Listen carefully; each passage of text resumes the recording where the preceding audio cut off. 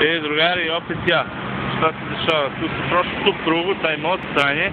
I ovde, vrate, dolazi brdo grafita. Znači, jedan ogroman zid. Ne znam, možda nekih 50-60 metra. I ceo zid je u grafitima. Da ne snemamo prolaznike. Zapalim kljubu nekako. Čekaj.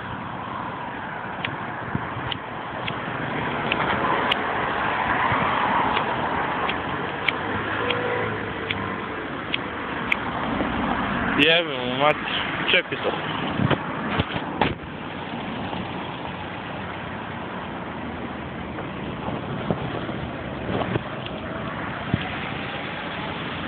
E, da me vidiš sad, ne? Ti šta kažeš na ovo? Vidiš tu, brate, neki... Novi grafiti. To, brate, mnogo veliki zid, sad će vidiš, brate, ima sve svašta, ono, brate, razne... Stilove možda. Da, da vidiš ovdje, brate, možda vidiš, evo ga Kasper. Evo ga Kasper. I vidi, brate, sad neko sranje, ovo neki indijski slon, bog, šta li je, veli ga. Znaš to, oni se kurče. Evo, brate, evo ga moj brat.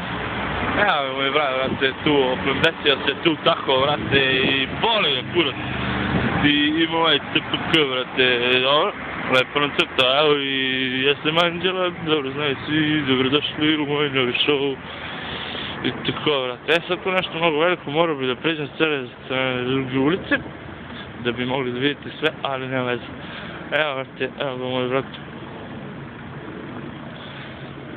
Moj brat. E, ko mi kaže ko je ovo, brate, dobije nešto od mene. Šta da? Dobro. Idemo dalje. Vidiš da je neki vrate s taj stranje. I to, vrate, sad, evo vidiš, tu mi neki vrate sad mnogo veliki grafiti sve vrate stranje. To oni se penjali čak gore da pišu, vidiš. I to to, vrate. Ništa, vrate. E, evo ga crnja, vrate. Ljud sam. Ali za sranje, a? Okej. Evo je, vrate. Ja sam vrate ljud crknu grafiti, bač penis, vrate, put. Ovaj, vrate, s motornom testerom, ha, teksaški masakar motornom testerom, vrate. Ajde, čao.